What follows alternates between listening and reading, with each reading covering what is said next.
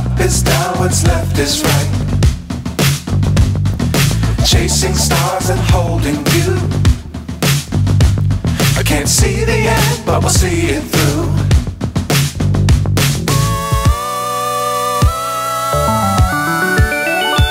Hi friends అందరూ ఎలా ఉన్నారు మేమైతే చాలా బాగున్నాం ఈ వీడియో ఏంటంటే నిన్న మేము సబ్బవరం దగ్గర ఉన్న చెల్లయ్యమ్మ తోటలో భువనేశ్వరి అమ్మవారి గుడికి అయితే వెళ్ళాము. సో ఇది అందరికీ తెలిసి ఉంటుంది. సో కాకపోతే మేము అక్కడికి వెళ్ళాము. సో మీకు మేము అక్కడ ఏం చేసాం ఏంటి అవన్నీ అయితే నాకు చెప్పాలనిపించింది. సో అందుకని అయితే నేనైతే మీకోసం ఈ వీడియో అయితే తీసానండి. సో ఈ అమ్మవారిని ఏంటంటే నలభై ఒక్క రోజుకి ఒకసారి నిద్రలేపుతారనమాట నిద్రలేస్తారు. సో ఆ ఆ నలభై ఒకటో రోజు ఇలాగా అందరూ వచ్చి పూజలు చేస్తారనమాట అభిషేకాలు అన్నీ చేస్తారు. కుంకుమార్చన అన్నీ సో నేను మ్యారేజ్ బిఫోర్ చాలా ఇయర్స్ బిఫోర్ వెళ్ళానండి.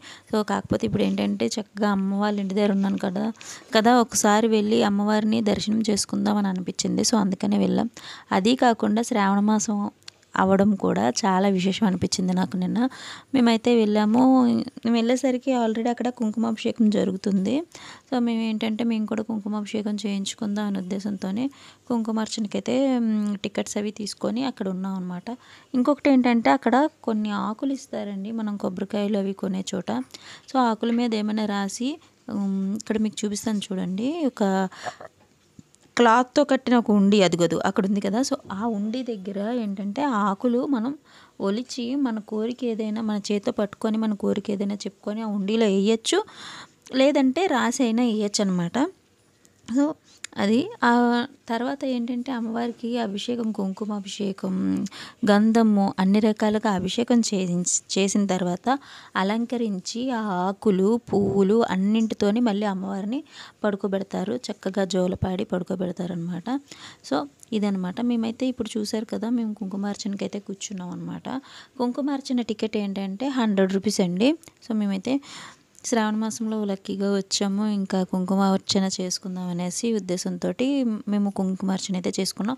మళ్ళీ అమ్మవారిని ఎప్పుడు తెరుస్తారంటే సెప్టెంబర్ ఇరవై ఐదో తారీఖు ఆదివారం అండి. మళ్ళీ అమ్మవారిని సెప్టెంబర్ ఇరవై ఐదో తారీఖు ఆదివారం తెరుస్తారు. ఎవరైనా వెళ్ళాలనుకుంటే వెళ్ళొచ్చండి. సబ్బవారం వెళ్ళే ఏ బస్సు అయినా సరే వెళ్తుంది. సో అదనమాట ఈరోజు వీడియో. మేమైతే చక్కగా అక్కడ కుంకుమార్చన చేసుకొని మళ్ళీ అమ్మవారిని అక్కడ అభిషేకం చేస్తున్నారు చూడండి. అలాగే అమ్మవారికి మేము కూడా పాలతో అభిషేకం చేసి తర్వాత కొంచెం దూరంలో ఎక్కువ దూరం ఉండదు ఇది కొంచెం దూరంలో జమ్మి చెట్టు దగ్గర పెద్ద నాగమ్మ పుట్టు ఉంటుంది. సో అక్కడికి వెళ్ళి నాగమ్మని దర్శించుకొని మళ్ళీ అక్కడ అన్నదానం అది కూడా చేస్తారండి. మనకి నచ్చితే మనం తినచ్చు అమ్మవారి ప్రసాదం కాబట్టి. సో అమ్మవారిని ప్రసాదం కూడా తీసుకొని కొంచెం దూరంలోనే ఆటో ఆపిచేస్తారు మాది మా నాన్నగారు ఆటోలో వెళ్ళాము. సో ఆ కొంచెం దూరం మేము నడిచి వెళ్ళి ఆ ఆటో ఎక్కాం. ఆ ఆటో అక్కడ ఆప్ చేసేసి మళ్ళీ వేరే ఆటోలో అమ్మవారి గుడి దగ్గరికి అయితే రావాలంట. సో అలా చెప్పారు వాళ్ళు. ఎందుకులా ఇప్పుడు అంత దూరంలోని కూ ఇంత దూరం నుంచి కూర్చొనే వెళ్ళాం కదా మళ్ళీ అక్కడి నుంచి ఎందుకని కాసేపు అయితే నడిచాం.